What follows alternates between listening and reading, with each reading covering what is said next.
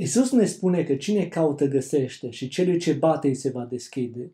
Aceasta arătându-ne că nu de Dumnezeu depinde ca noi să primim ceea ce căutăm, ci de modul în care căutăm.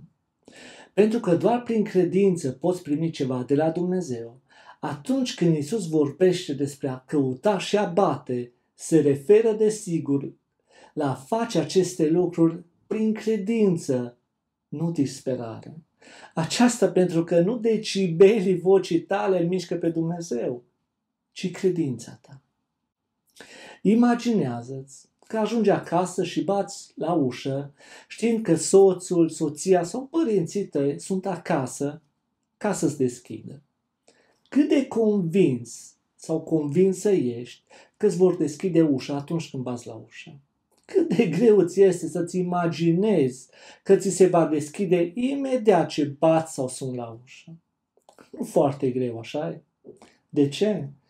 Pentru că ești convins că ți se va deschide înainte să vezi acel lucru împlinindu-se. La aceeași convingere trebuie să ajungem atunci când ne rugăm pentru un anumit lucru.